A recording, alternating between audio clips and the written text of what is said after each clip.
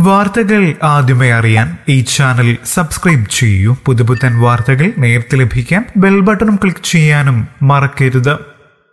സമൂഹ മാധ്യമത്തിലൂടെ പരിചയപ്പെട്ട പ്രായപൂർത്തിയാകാത്ത പെൺകുട്ടിയെ തട്ടിക്കൊണ്ടുപോയെന്ന കേസിൽ തിരുവനന്തപുരം അരുവിക്കുഴി വീരണക്കാവ് കൃപാനിലയം സന്ധ്യയെ പോലീസ് അറസ്റ്റ് ചെയ്തു. പുരുഷനെന്ന് പരിചയപ്പെടുത്തിയാണ് സന്ധ്യ പെൺകുട്ടിയുമായി സൗഹൃദത്തിലാവുകയും തട്ടിക്കൊണ്ടുപോവുകയും ചെയ്തതെന്ന് പോലീസ് പറഞ്ഞു. ആലപ്പുഴ ജില്ലക്കാരിയായ പ്ലസ് വൺ വിദ്യാർത്ഥിനിയെ സമൂഹ മാധ്യമത്തിലൂടെ പരിചയപ്പെട്ട ശേഷം വീട്ടിൽ നിന്നും വിളിച്ചിറക്കി കൊണ്ടുപോയെന്ന കേസിലാണ് പ്രതിയെ പോക്സോ നിയമപ്രകാരം തൃശൂരിൽ നിന്നും അറസ്റ്റ് ചെയ്തത്. അറസ്റ്റിലായ സന്ധ്യ രണ്ടായിരത്തി പതിനാറിൽ പതിനാല് വയസ്സുള്ള പെൺകുട്ടികളെ ഉപദ്രവിച്ചതിന് കാട്ടാക്കട സ്റ്റേഷനിൽ രണ്ട് പോക്സോ കേസുകൾ നിലവിലുണ്ടെന്നും പോലീസ് പറഞ്ഞു. സന്ധ്യ വിവാഹിതയും ഒരു കുട്ടിയുടെ അമ്മയുമാണ്. രണ്ടായിരത്തി പതിനാറിൽ കാട്ടാക്കട പോലീസ് രജിസ്റ്റർ ചെയ്ത പോക്സോ കേസിൽ ആറുമാസം ശിക്ഷിക്കപ്പെട്ട സന്ധ്യ ജയിലിൽ കഴിയുന്നതിനിടയിൽ പരിചയപ്പെട്ട ലഹരിമരുന്ന് കേസിൽ ശിക്ഷിക്കപ്പെട്ട സ്ത്രീക്കൊപ്പം മൂന്ന് വർഷം താമസിച്ചിരുന്നു. രണ്ടായിരത്തി പത്തൊൻപതിൽ മംഗലാപുരം പോലീസ് സ്റ്റേഷനിൽ സന്ധ്യയുടെ പേരിൽ അടിപിടി കേസ് രജിസ്റ്റർ ചെയ്തിട്ടുണ്ട്. ലഹരിമരുന്ന് സംഘങ്ങളുമായി സന്ധ്യയ്ക്ക് ബന്ധമുണ്ടെന്നും വിവരം കിട്ടിയിട്ടുണ്ടെന്നും പോലീസ് പറഞ്ഞു. സമൂഹ മാധ്യമങ്ങളിൽ സൗഹൃദ ഗ്രൂപ്പുകൾ ഉണ്ടാക്കി പെൺകുട്ടികളുടെ സ്വകാര്യ വിഷമങ്ങൾ പറയാൻ പ്രേരിപ്പിച്ച് അടുപ്പമുണ്ടാക്കുകയായിരുന്നു ഇവരുടെ രീതിയെന്ന് പോലീസ് പറഞ്ഞു.